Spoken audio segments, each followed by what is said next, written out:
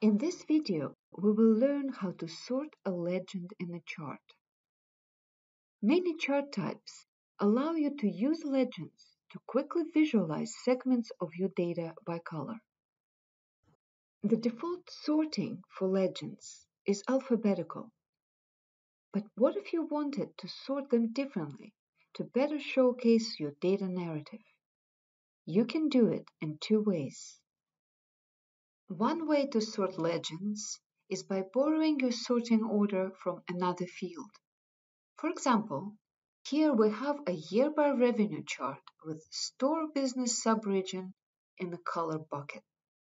Let's say we want the subregions to be sorted by their regions.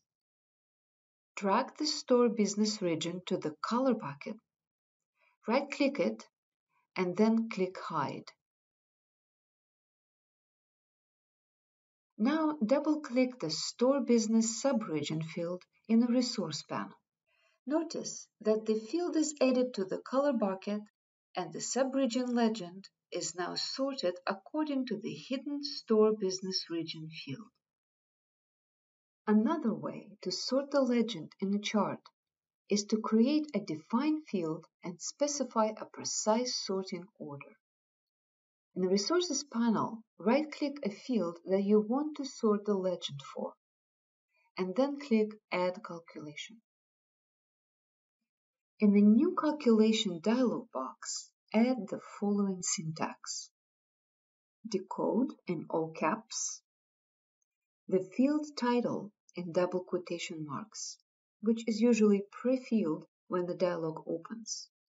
Then, in parentheses, Add every value in the single quotation marks followed by a designated number. Click Verify to check your calculation and then click OK. Now drag this new defined field into the color bucket.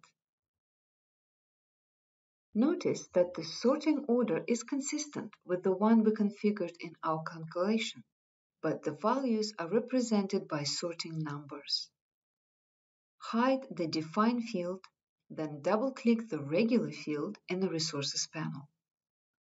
As you can see, the field gets added to the color bucket and its legend assumes the same sorting order as the one calculated in the hidden Define field. To learn more, search for TIBCO Web Focus at docs.tibco.com.